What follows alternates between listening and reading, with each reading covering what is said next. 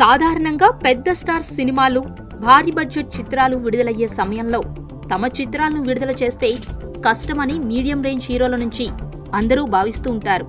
అనవసరంగా క్లాష్ వస్తే తమ పరిస్థితి గోల్మాల్ అవుతుందని ఆయా చిత్రాల ముందు తమ చిత్రాలకు ఓపెనింగ్సే కాదు కనీసం థియేటర్లు కూడా దొరకవని చిన్న చిత్రాల విషయంలో సినీ పెద్దలు ఎప్పుడూ చోద్యం చూస్తూ ఉంటారని చిన్న సినిమాలు నిర్మించేవారు ఆ చిత్ర టీంలు బాధపడుతూ ఉంటాయి. తమకు కూడా సోలో రిలీజులు వస్తే బాగుంటుందని సినిమా టాక్ బయటకు వచ్చి సినిమాకు ప్రేక్షకులు వచ్చే లోపే మంచి చిత్రాలను కూడా థియేటర్ల నుంచి తీసేస్తున్నారనే వాదన ఎప్పటి నుంచో ఉంది. ఇక ఒకప్పుడు మెగాస్టార్ చిరంజీవి చిత్రం విడుదలవుతుందంటే అందరూ తమ సినిమాలను రిలీజ్ చేయడానికే భయపడేవారు. సేఫ్గా ఉండే తేదీ కోసం వెంపర్లాడేవారు. కానీ పెద్ద సినిమాల సమయంలో చిన్న చిత్రాలు విడుదల చేయడం వల్ల కంటెంట్ లేని చిత్రాలకు ఎంత నష్టమో కంటెంట్ ఉన్న చిత్రాలకు అది అంత ప్లస్ కూడా అవుతుంది.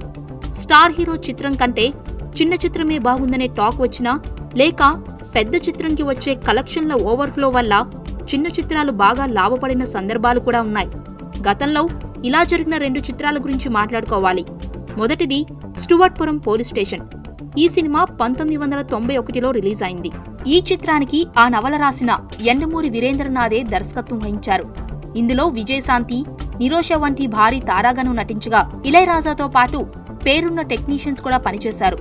ఇక ఇదే సమయంలో దాదాపు టైటిల్ కూడా పోలి ఉండే స్టువర్ట్పురం దొంగలు అనే చిత్రం విడుదలైంది.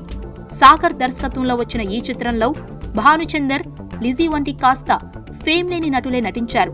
కానీ బాక్సాఫీస్ వద్ద స్టువర్ట్పురం దొంగలు అనే చిత్రమే పెద్ద విజయం సాధించింది. ఇక చిరంజీవి నటించిన శంకర్ దాదా చిత్రం సమయంలోనే శేఖర్ కమల మొదటి చిత్రమైన ఆనంద్ కూడా వచ్చింది. రెండు రోజుల పాటు ఆనంద్ని ఎవరూ పట్టించుకోలేదు. అందరూ శంకర్ దాదా మోజులోనే పడి ఉన్నారు. కానీ తర్వాత ఆనంద్ సినిమా ఏ రేంజ్లో హిట్ అయిందో అందరికీ తెలిసిందే.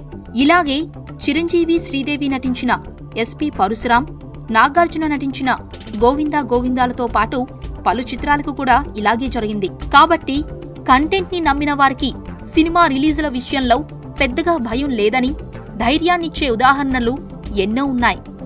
ఈ వీడియో మీకు నచ్చితే లైక్ షేర్ అండ్ కామెంట్ చేయండి. ఇలాంటి టాలీవుడ్ లేటెస్ట్ అప్డేట్స్ కోసం మా ఛానల్ని సబ్స్క్రైబ్ చేసుకోండి.